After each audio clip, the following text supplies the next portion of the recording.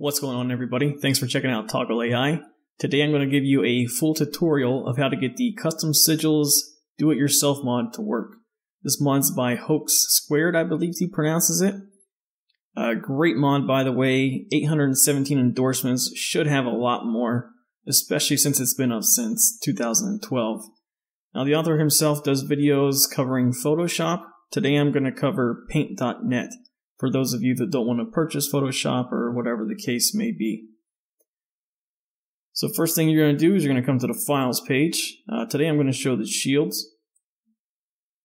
We're looking for this file here, Custom Sigils, Shields, Core Files. We're going to download it manually.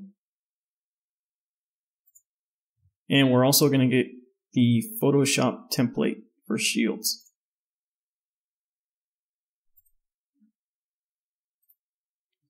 Yes, I have some things to endorse that I haven't had time to play yet.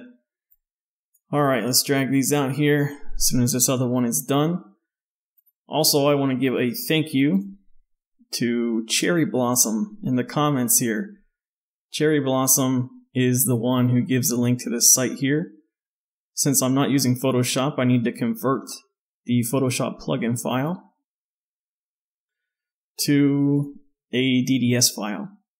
So the site that Cherry Blossom used or recommended, you'll come here. What you're going to do, open up the plugin. You have this right here. Go ahead and copy it out to the desktop. Now here, choose your file.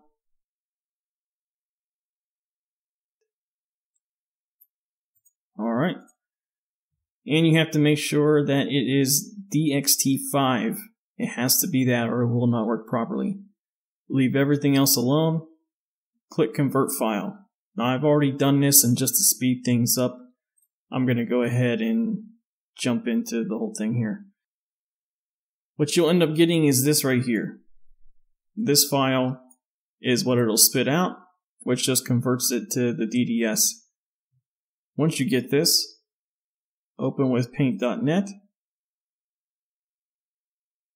And today I'm just going to play around with my my own little YouTube icon and add it in there and show you how I got it into the game.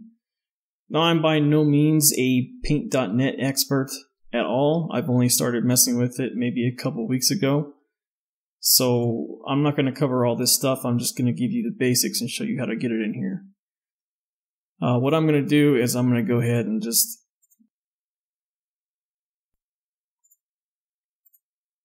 because that's pretty much how my YouTube deal is too. The background is black. Alright, now I'm going to open up my icon.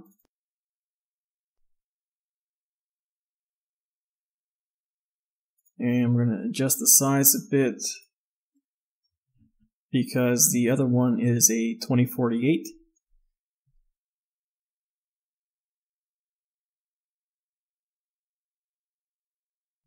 And I'm going to take the magic wand, get it all transparent, select all, copy, come back to the other one here, edit, paste into new layer, and we're going to move this around, try to center it a bit. We'll cut the bottom off. I've already done this once, so I'm just kind of blowing through it as quick as possible, and hopefully I don't get you guys confused at all. Alright, so we got that good. And now as far as the effects go, okay, your layers, I'm going to select what I just put on there, which is the icon. And you can see the bottom of it is going outside of the actual sigil icon that we installed or downloaded. So I'm just going to go ahead and take the eraser and we're going to get it out of here. And because I'm selected on layer 2, which is my icon, it's only erasing my icon and not the sigil icon. Actually, we're going to cut a good little bit off here. Get rid of all this.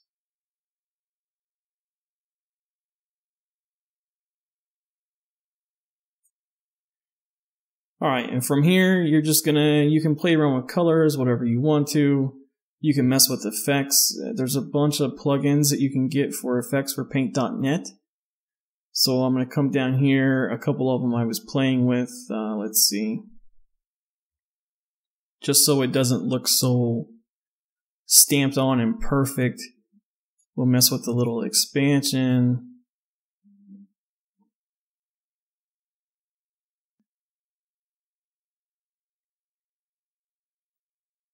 This I thought looked really good, smudge. You can come in here, kind of ruin some of these little perfect lines so it looks like maybe the paint's worn down, the shield's got hit a bit, whatever the case is. And what you can do with this, this is a plugin, I believe. Yes, Smudge by Pyrochild. Is you can do a little section at a time, click OK, go back and look at it. You can say, oh, I don't, I went too much there, I don't really like how it turned out. Just go back into history. Go back, now it's undone. And you can go for it again.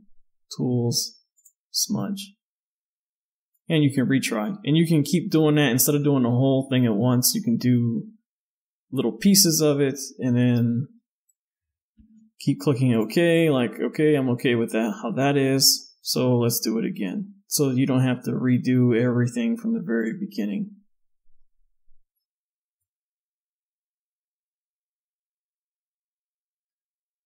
We'll just run down through here some.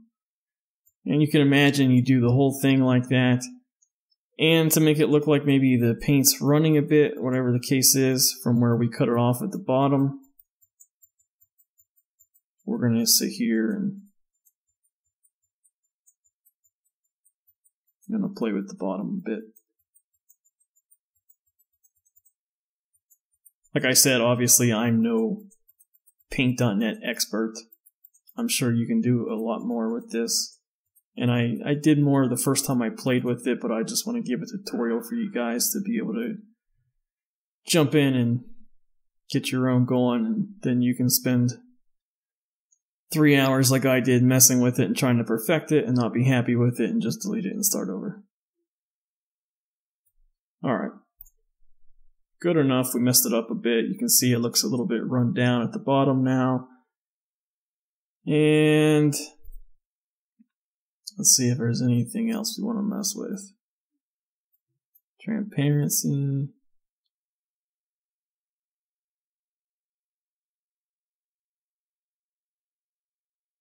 Yeah, why not? I believe the author of the mod also comments that anything you put in here is going to be brighter, or it's going to show up brighter in game, so be aware of that you might just have to play with it a few times is all. No big deal. Alright, any more effects we want to mess with? Oh, something else you can do. Didn't quite look right with mine, but you can create this new layer here. We'll grab the paintbrush. Uh, let's go with uh, white, why not? Let's not go completely solid, let's go 80%. Just going to make some lines. And then we're going to use another plugin.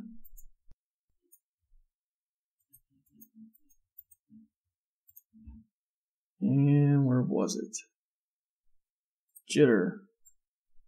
Another one by Pyrochild.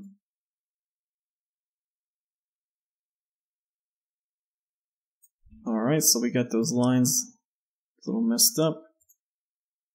Okay, obviously it's uh, it's a bit too much. Let's play with this real quick. There we go. We can kind of fade it out a bit. Maybe the shield looks a bit more worn now.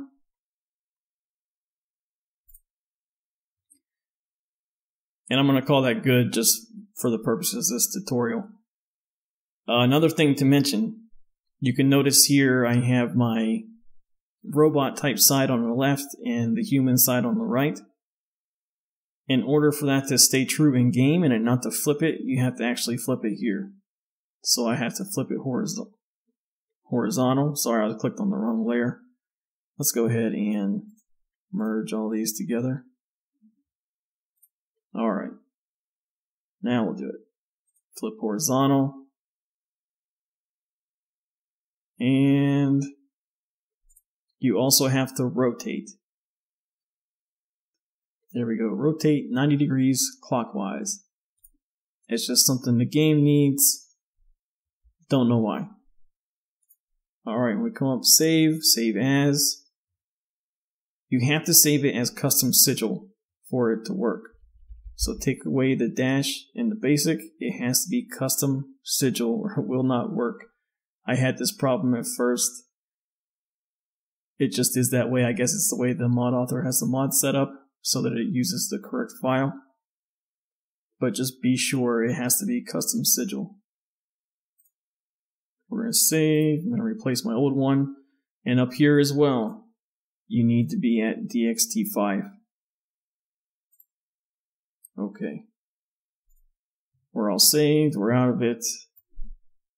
Here's this one. Now I'm using mod organizer.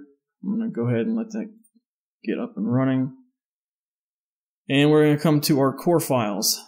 In our core files, let's go to textures, armor, custom sigil. Here is the original. We're just going to simply delete it. And we're going to drag in the one we just made.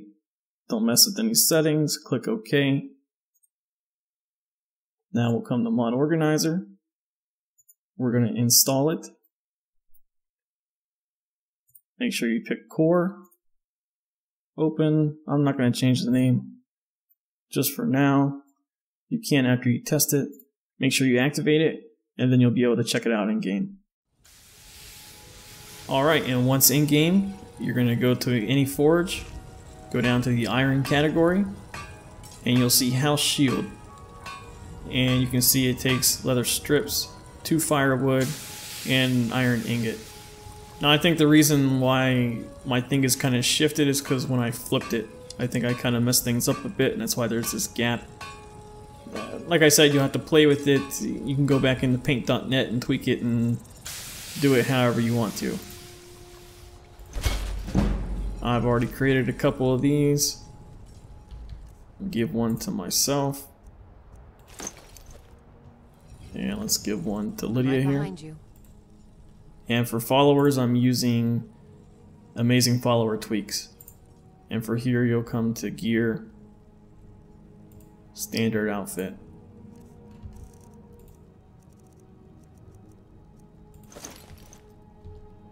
Let's get going then. And there you can see, she's got the house shield. I've got the house shield. So you can see how it looks a little bit better from the front. Lydia would quit walking in front of me. And that's it, guys.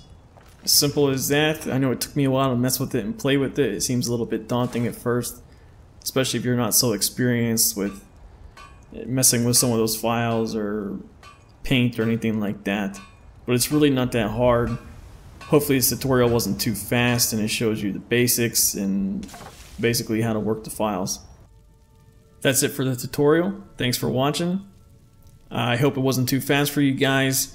I just wanted to really cover some key points and show you that it's not as intimidating as it might seem. If you like the mod, please endorse it. I think it definitely deserves it. it. has a lot of potential to do something cool in game. There's a lot of awesome images that were uploaded by users on the mod page itself. Please like and subscribe if you enjoyed the video. And you can also follow me on Tumblr and SoundCloud. Everything's under Toggle AI. Alright guys, have a good one.